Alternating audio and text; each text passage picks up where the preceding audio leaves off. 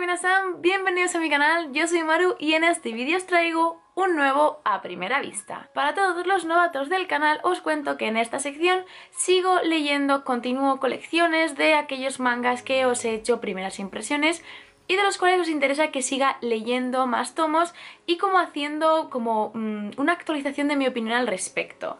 En esta primera vista ya voy a cerrar una colección que hace mucho que quería cerrar y tengo aquí diferentes tomitos que quiero leer como siempre no olvidéis dejarme en los comentarios aquellos tomos o aquellas colecciones que queráis que siga leyendo en esta sección de primera vista, como os dije con Bungo Stray Dogs, pero por ejemplo Shingeki no Kyojin sabéis que tiene sección aparte, así que aquí no entra. Pero antes de que procedamos a ver estos tomos, a que lea estos tomos, os tengo que contar un poquito acerca de Wacom. Como sabéis, Wacom es una aplicación que yo utilizo todos, todos los días y es una aplicación que nos permite llevar un control sobre nuestras colecciones de manga y cómics. Yo siempre recomiendo esta aplicación porque de verdad es algo que utilizo y es muy útil, pero a pesar de que uso Wacom prácticamente siempre soy un desastre y siempre tengo fails fails que vosotros vais a ver en este vídeo y del cual os vais a aprovechar.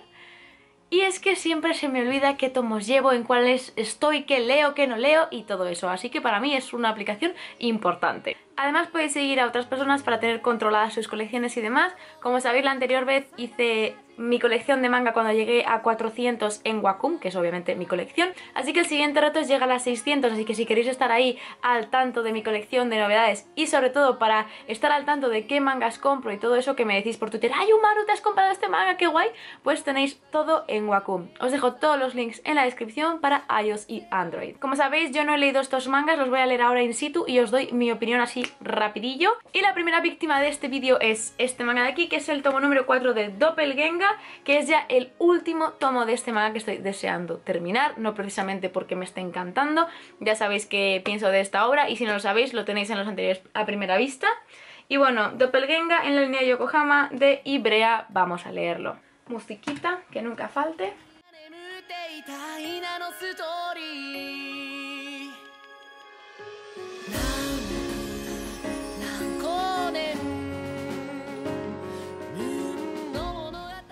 Bueno, ya he terminado el tomo 4 y dentro de lo predecible que ha sido la historia ha tenido un par de puntos bastante buenos. No os voy a decir exactamente qué pasa al final, pero es como que la historia te va como construyendo una línea recta y luego hay como que se sale y vuelve a la historia principal. Eh, sinceramente no es, no es de las mejores historias de, de asesinatos que he leído, ni mucho menos. Es bastante predecible, bastante simple pero tal vez hay personas que no estéis acostumbradas a este tipo de obras, puede que Doppelgenga pues sea una buena opción para empezar.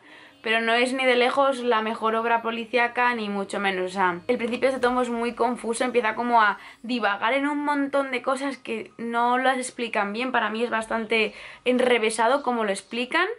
¡Ay, pajarillo! Vete a comer a otro sitio que no sea mi balcón. ¡Fuera! ¡Pajarito! Ahora sí. Y sinceramente, ya os digo que estaba deseando terminar esta obra porque era como una que tenía lo... La quiero terminar ya. Así que terminada y una menos. Sigamos con To Eternity. Tengo por aquí el tomo 5 y el tomo 6.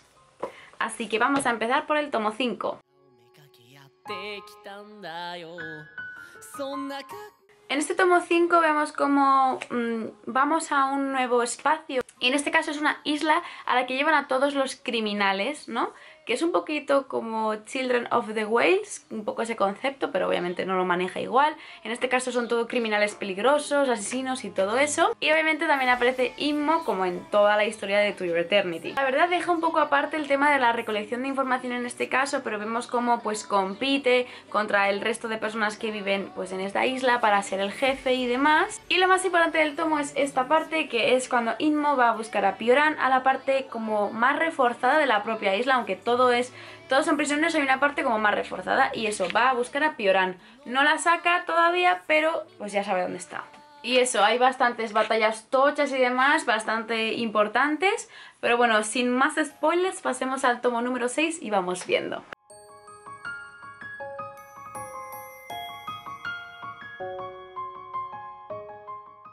Principio del tomo número 6 aquí te explican los personajes, que es algo que echaba de menos en el anterior tomo, porque en Tokyo Ghoul, por ejemplo, sí que lo hacen y así yo me aclaro más porque viva el motrollonaco de personajes. Ahora lo importante es que está Ayase en el juego, que es la persona que mató tanto a March como a Parona, que son dos personajes que incluso Inmo puede coger como cuerpo, que son la chica del pelo largo y la niña pequeña. Así que eso, es importante que, tengamos en cuenta a esta, a esta personaje, a este personaje.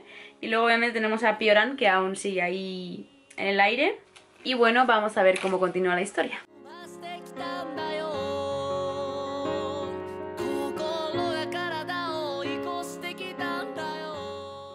Vale, este tomo 6 ya trae más chicha, este tomo 6 de To Your Eternity, ya que vemos un poquito el avance, lo que pasa en este arco de la isla pues de los asesinos y demás. Ya se cierra ese momento y sigue más adelante, vemos a Inmo con Pioran y demás, pues pasan más cosas. Y al final de este tomo vemos como un progreso de bastantes años hacia adelante y vemos a un himno bastante cambiado y sinceramente me parece guay. Y no está mal, es como digo, un manga súper extraño que no sabes qué va a pasar porque no tiene una línea, no tiene una historia fija, no hay realmente como un objetivo general más allá de que Inmo mm, pues recaude información y que conozca más cosas del mundo y demás. Así que ya iremos viendo Inmo con qué más nos sorprende y a qué más sitios nos lleva. Como os he comentado al principio, soy súper súper desastre con las colecciones de manga, lo que deriva a que me compre mangas repetidos. Y sí, tengo dos veces Toyo Eternity 5, así que os lo voy a sortear porque why not, o sea, yo no lo necesito para nada, sinceramente, o sea... No necesito dos tomos repetidos porque no, así que si alguno de vosotros puede disfrutarlo, pues mucho mejor. Como siempre, seguirme en YouTube y en Twitter para que me ponga en contacto con vosotros, aunque en esta ocasión voy a hacerlo distinto y es que el jueves que viene, el 31 de mayo, en el vídeo que corresponde, pues os diré quién se ha llevado este tomo. Así os enteráis todos y no me preguntáis por tropecientos mil sitios quién ha ganado. Así que sí, ponedme un comentario por usuario, los que vayáis a participar y vuestro Twitter, vuestro arroba de Twitter. Así que todo aquel que sea de España, tanto Canarias, Península y Baleares, podéis participar. Un comentario, vuestro arroba de Twitter, me seguís YouTube, Twitter. Y eso, estad atentos al jueves que viene para saber el ganador. Ganadora. Y los dos últimos tomos van a ser de Fire Punch, el 2 y el 3. Como sabéis, ya os hablé de Fire Punch. Me parece también una obra que no sabes por dónde te va a salir porque es que no tienes ni idea, no sabes qué va a pasar.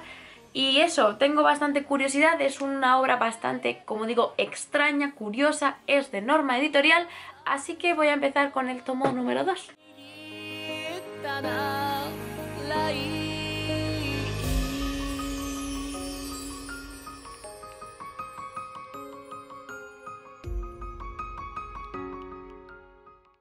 Tomo 2 terminado, la verdad, creo que ya lo dije en el anterior vídeo en el que hablé de Fire Punch, pero me parece un manga un poco heavy para ser shonen. La verdad, trata de más un poco turbios, es bastante gore, hay muchas decapitaciones, mucha sangre, mucho de todo por todos lados. Sí que, por ejemplo, Agni Agni, es que es un poco raro decir su nombre, bueno, Agni es un crío que ha crecido, pero es la de un crío, porque es que nadie le ha enseñado. Entonces al final de este tomo le enseñan varias cosas de diferentes temas que, no sé, están tratados un poco raro, la verdad. Ya os digo que no sé cómo, cómo va este manga, porque tiene como una línea temporal un poco rara a la hora de llevar la historia, es como que realmente no tiene ningún objetivo este manga más allá de la venganza del protagonista. Y sinceramente he mirado y este manga tiene 8 volúmenes y está saliendo todavía, así que no sé qué va a pasar.